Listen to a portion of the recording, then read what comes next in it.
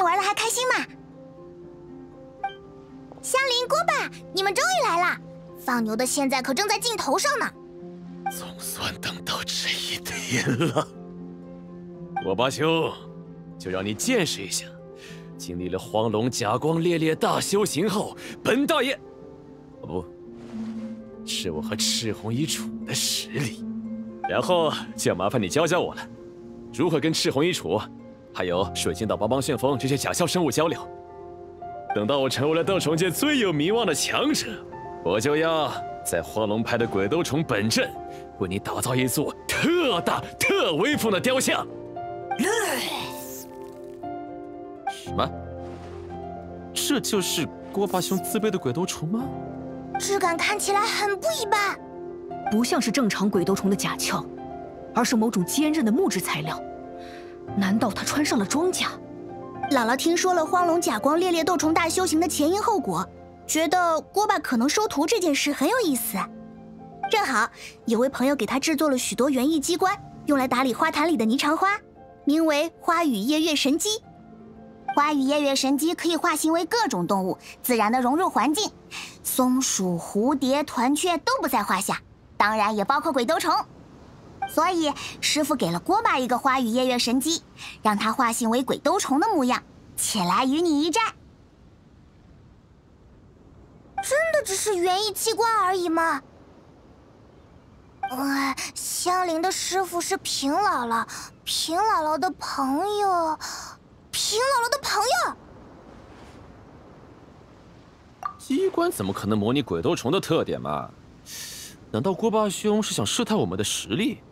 所以故意用了很弱的家伙来对阵，还是小心为妙。鬼王，我好像感知不到那只机关鬼斗虫的气息，或者说，深不见底。机关又不是活的，你感觉不到气势很正常。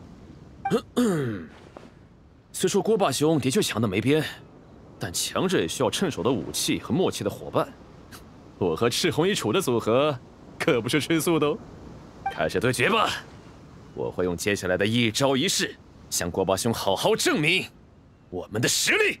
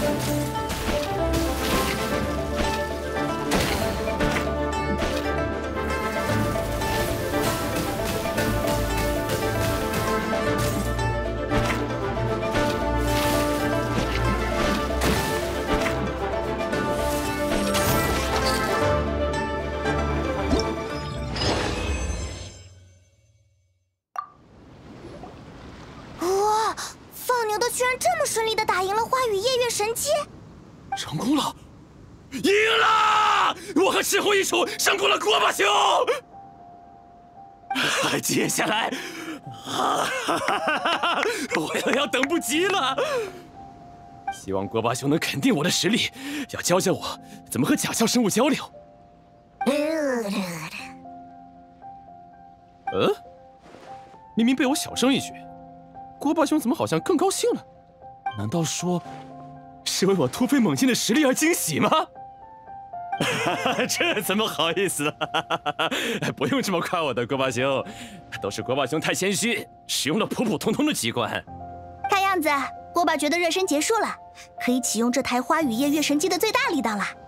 锅巴，我们就按照之前约定好的，把园艺机关的出力从千分之一调整到百分之一吧。再大的话，可能会把一斗先生的鬼兜虫直接打晕。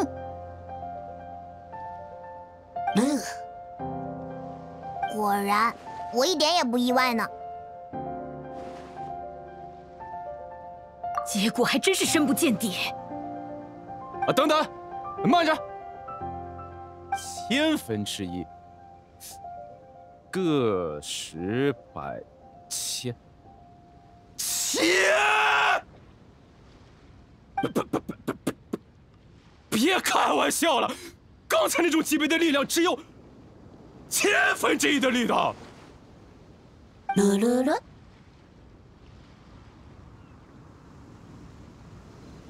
锅巴有点疑惑，你不是想训练鬼斗虫打败水晶岛帮帮旋风吗？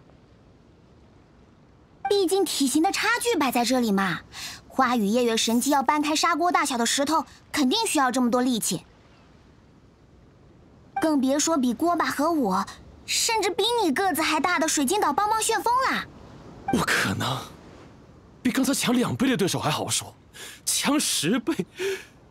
就已经不是输多少次才能打赢的问题了，至于一千倍，简直是在做梦。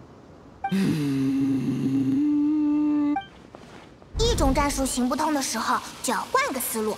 我们在其他地方旅行的时候，常常灵活思考。只盯着一种方法做事的话，用力也解决不了问题。郭巴修，我明白了。我要学些机关术，为赤红一楚打造一套装甲，让他突破自己的上限，或者干脆制造一台由赤红一楚驾驶的更大的机关鬼斗虫，由我来指挥他操纵机关。鬼斗虫驾驶机关鬼斗虫，真的能办到这种事吗？还算是斗虫吗？见识到了花雨夜月机关的力量后，我意识到了。鬼斗虫的力量，终究是有极限的。阿忍和玉将，尤其是破空白铁小警瓜，都提醒过我，认输很可耻，但一点都不知道变通的话，我们也太笨了。国宝兄为我指明了一条新的道路，用机关术强化鬼斗虫。这样一来，就算有着超大的体型差距，本大爷的鬼斗虫。也不会输给那只水晶岛帮帮旋风。噜噜噜。嗯，这方面的事，锅巴好像完全不懂。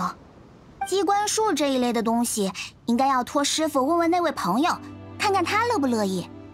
那就麻烦锅巴兄、厨神小姐和大恩人引荐。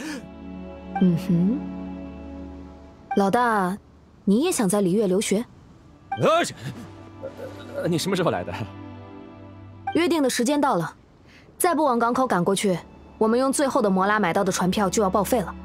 啊啊！你你你你你你你你你先等等，这边还在讨论很重要的事。我，嗯，我都听到了。你主动提出要学什么东西，我倒是挺欣慰的。这方面的经验，我可以直接写一本小手册给你。可惜在璃月留学需要资金，比荒龙派平常的开销多出许多倍的资金。这笔钱，你心里有数吗？大大大大不了回道奇以后好好做一段时间的工，又不是没有打过工挣过摩拉。我刚刚都说出那样的话了，当然做好了心理准备，只要多出点力，多少钱都挣得到。而且，我也不打算抛下你和荒龙派的兄弟们不管，一个人跑老远去钻研学问，还算个什么老大？要学就大家一起学，凑够所有人的学费，全花龙派一起来留学，一起变强。到时候，我们就成了天下无敌的花龙派。老大，你什么时候学会说这种漂亮话了？好，放牛的难得说出这种豪言壮语，你可要说到做到哦。嘿嘿。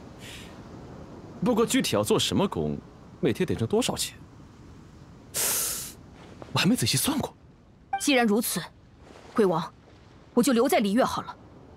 一方面可以跟着厨神姐姐仔细询问学习机关术的事宜，另一方面，荒龙甲光烈烈斗虫大修行刚刚被宣传开来，我可以考察更多斗虫强者，还有对培养鬼斗虫有益的食物。